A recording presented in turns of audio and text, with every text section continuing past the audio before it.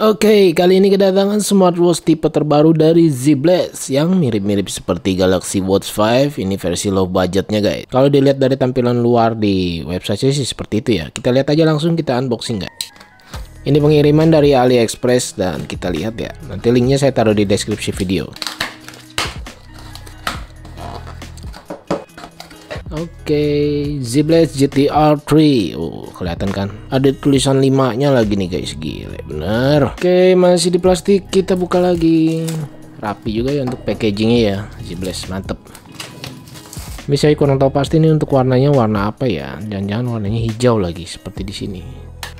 Oke, cara bukanya cuma dikorek dari atas gini guys. Saya kirain diselorotin gitu ya, ternyata enggak. Oke yang tampilannya sederhana ya. Sini ada user manual Zblast GTR 3 aplikasi dia menggunakan Gloryfit ya bisa di scan dari sini ataupun download dari Play Store maupun App Store. Pastinya kalau menggunakan aplikasi Gloryfit ini watch face pilihannya banyak ya dari bawaan aplikasinya.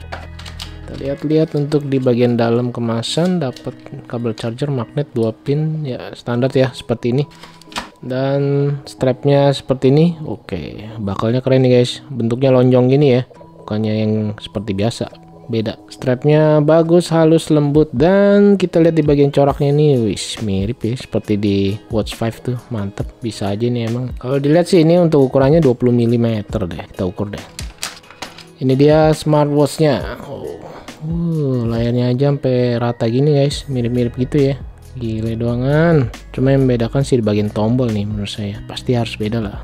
Kita perhatikan di sini di seperti ada plat besi lagi ya. Mungkin ini untuk temperatur body deh. Nanti kita lihat untuk fitur-fiturnya. Dan kalau saya pegang ini berasanya ringan sih. Ringan banget. Lalu kita lihat di sini ada lubang speaker dan mic ya. Pastinya dia bisa bluetooth call nih guys. Mantep bener. Oke kita beresin dulu sebelumnya.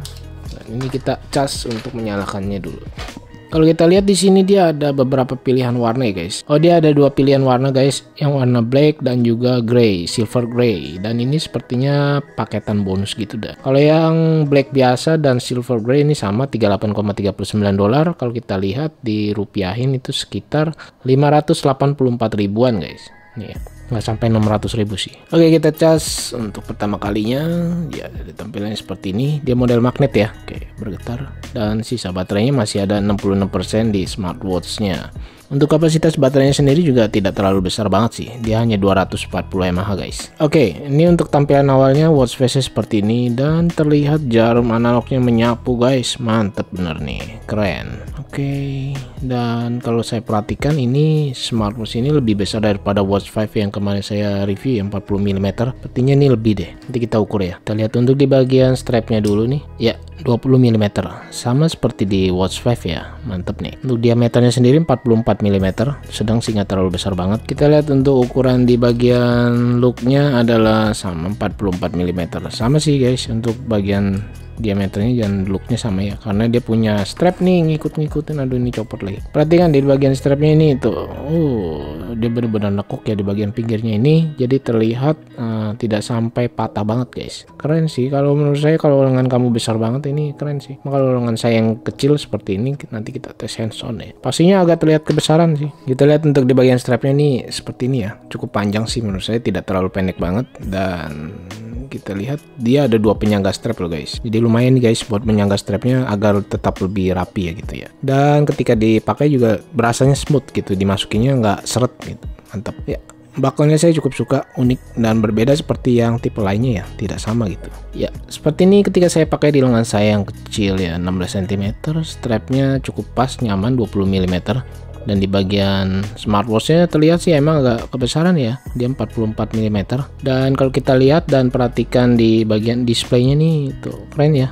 Dia punya watch face nya full displaynya gitu guys. Mantap sih. Ukurannya sendiri juga nih berasanya cukup besar. Display size nya ini 1,32 inch resolusinya 360 kali 360 pixel. Cuma untuk panel layarnya dia masih menggunakan IPS screen. Screen to body rasionya 82,6% Sekalian aja kita lihat langsung di bagian fitur seperti heart rate dan teman-temannya ya. Oke, uh, tampilan UI-nya seperti ini guys. Oke, cukup lancar ketika di slide begini ya, ringan. Langsung aja kita tes di bagian heart rate. Oke, dia langsung memulai seperti ini dan menunggu. ya, dia sudah muncul harusnya sih berjalan dinamis ya cuma ini ya dia berjalan tuh guys. Cuman agak lambat untuk pergerakannya. Ya awal-awal biasa gitu. Oh ini body temperature guys. Nah seperti tadi saya bilang ya plat besinya itu uh, untuk fitur temperatur body ini. Cukup keren sih. Dan dia sudah muncul cukup cepat penghitungannya ya. Dia 36,8 dan skinnya ini adalah kulit saya.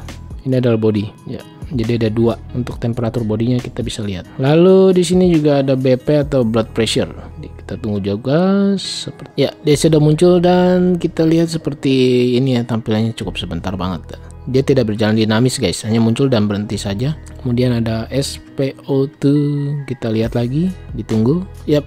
Dia berjalan dinamis sama seperti heart rate fitur lainnya kita lihat dan kita buka aja nih guys. Biar lebih mudah untuk melihatnya.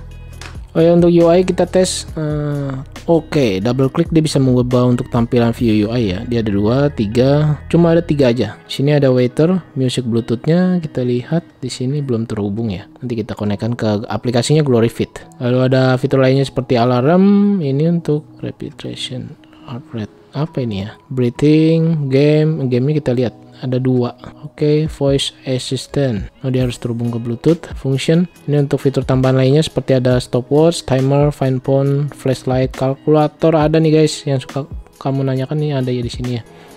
Layarnya cukup besar keren sini di setting di setting dial kita lihat dia ada berapa tampilan? 2 3 4 5 6 7 8 9 Oke ada 10 ya kurang lebih ya. Keren bener dah. Untuk menu togglenya seperti ini tampilannya. Kita bisa pilih ya di sini view UI nya langsung dari menu togglenya tema adalah untuk tema ya. Oh, ini view UI sih tem. Brightness setting ini tidak bisa ada auto brightness ya hanya manual aja. Dan dia tidak bisa tap to wake.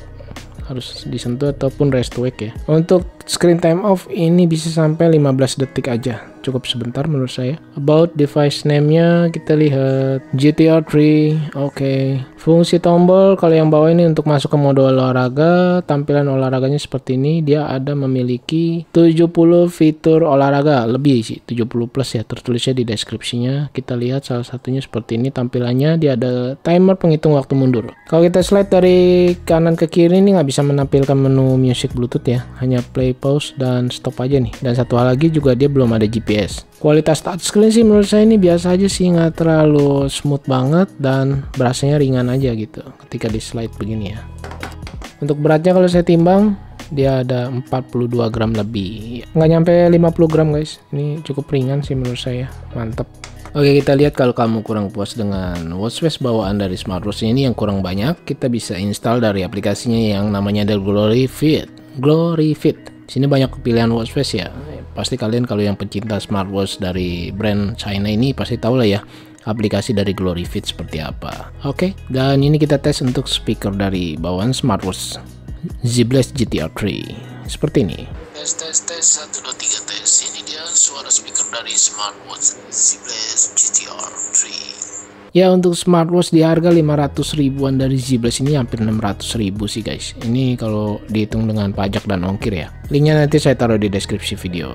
Yang saya suka ini di bagian display Walaupun dia masih menggunakan IPS screen Tetapi saya cukup suka karena dia punya display layar ini cukup besar ya. Dan juga resolusinya 360 pixel lumayan. Warna dan watch face-nya yang cukup banyak Sehingga memudahkan kita untuk mengganti-gantinya kalau bosen guys. Lalu yang saya suka lagi dia ini cukup ringan banget. Dia tidak sampai 50 gram ya ketika dipakai. Dan yang sangat saya sayangkan untuk diameternya 44 mm di lengan saya ini cukup terlihat besar. Kemudian untuk di bagian fitur juga menurut saya ini cukup komplit ya. Di fitur kesehatannya ada beberapa banyak tuh tadi. Fitur kesehatan seperti temperatur body aja itu ada guys. Keren deh. Untuk view UI dia memang sih cuma ada tiga. Cuma lumayan untuk ganti-ganti. Ya oke mungkin segini dulu yang bisa saya sampaikan unboxing dan quick review dari Z-Blast GTR 3 terima kasih banyak buat yang sudah menonton. Saya Freddy and see you next my video. Bye